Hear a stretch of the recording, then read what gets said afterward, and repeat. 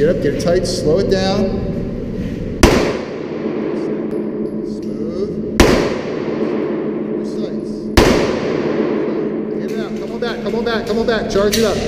One shot. Tighten it down, slow it down. How you feel? Awesome. Good. yeah, thank you, Steven, for the private handgun class. It was awesome. I came here without shooting anything, only range shooting. That was very, very bad. And now that's what I'm doing. Good job. Very happy for. Thanks, man.